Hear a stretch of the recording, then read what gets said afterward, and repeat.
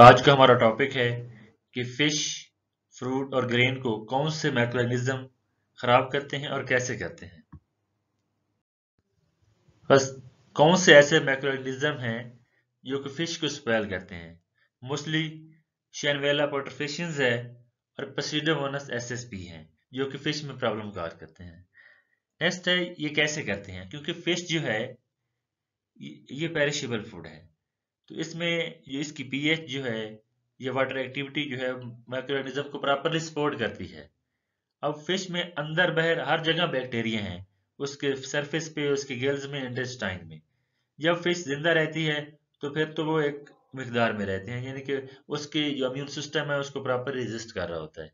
लेकिन जब फ़िश मरती है तो ये सारे माइक्रोब जो हैं सॉरी बैक्टीरिया जो उसमें मौजूद हैं, वो उस पर अटैक कर देते हैं, जो उसमें मौजूद प्रोटीन माइनो एसिड्स फैट को ब्रेक डाउन करते हैं और उसको अनडिजायरेबल प्रोडक्ट में चेंज कर देते हैं।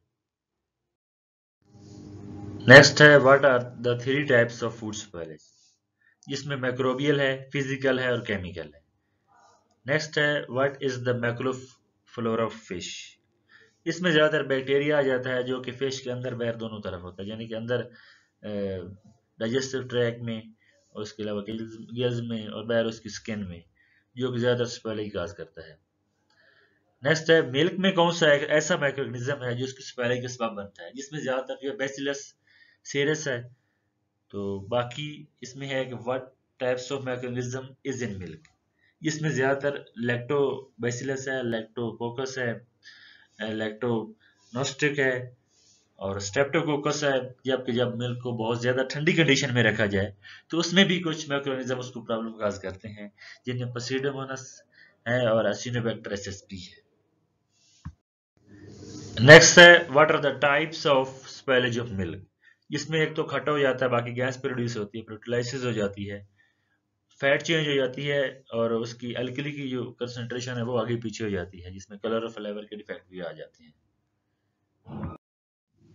नेक्स्ट है फ्रूट्स में कौन से ऐसे माइक्रोनिज्म हैं जो उसकी सफ़ाई का सबब बनते हैं? तो उनमें ज़्यादातर यीस्ट है मोल्ड है और, बैक्टीरिया है। लेकिन आप इस टेबल में देखें तो ज़्यादातर मोल्ड का ही हिस्सा है। सिट्रस को एप्पल्स को और ग्रेप्स को खराब करने में जो ज़्यादातर बीमारी काज करता है वो बिलियो रॉट है और ग्रीन रॉट है। नेक्स्ट है what microorganism responsible for spoilage in grain तो उसमें स्पर्जिलस आता है और पेनिसिलियम नेक्स्ट है what is the mechanism of food spoilage अब मैकेनिज्म ये है कि जो माइक्रो ऑर्गेनिज्म हैं, वो हर जगह मौजूद होते हैं। तो अगर फॉर एग्जांपल किसी फ़ूड को हीट भी किया जाए तो कुछ माइक्रो ऑर्गेनिज्म ऐसे हैं जो अपने इर्द गिर्द एक स्ट्रॉन्ग झिल्ली बना लेते हैं, जिसे वो स्पोर फॉर्मर उसे कहते हैं। तो जब अनफेवरेबल कंडीशन में वो स्पोर बना लेते हैं, जब उनको दोबारा फेवरेबल कंडीशन मिलती है तो फिर वो वेजिटेटिव फॉर्म में आ जाते हैं। यानी कि माइक्रो ऑर्गेनिज्म ही फ़ूड स्पॉयलेज का बहस है। फ़ूड ऐसे स्पॉयल नहीं होती, जिस तरह लोइस पास्चर ने इस थ्योरी, स्पोन्टेनियस जनरेशन की थ्योरी को रद्द किया था कि कोई भी जानदार जो है ऑटोमेटिकली प्रोड्यूस नहीं होता। तो यानी, कहने का बात यह है कि मैकेनिज्म जो है वो माइक्रो ऑर्गेनिज्म ही है।